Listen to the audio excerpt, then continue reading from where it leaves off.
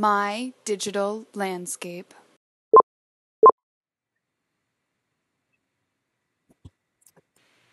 Hey YouTubers, William with My Digital Landscape here. Just wanted to send out a quick video uh, regarding Adobe Creative Cloud and the new version of Mac OS El Capitan, El Capitan, however we say that. Um, just updated and started having some immediate issues with Photoshop. So just wanted to send a reminder that you got to open up the Creative Cloud Updater, uh, which I had to find was completely closed. So you can find that through Spotlight on your Mac by typing in Creative Cloud.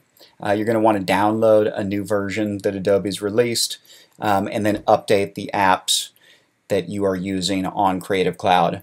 Uh, just wanted to also note if you are not using Creative Cloud and you're using another version um, of the Adobe suite that you may have purchased or gotten by other means, I would not recommend uh, updating to the new OS and, until you're certain, or maybe there's some more feedback because initially uh, was getting the new spinning pinwheel that looks different of death uh, and getting a bunch of lag on even something like Photoshop.